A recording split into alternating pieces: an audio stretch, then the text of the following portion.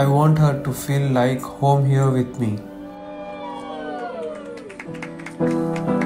Genuinely feel the best person I have got in my life. I would have never asked for anyone better than this.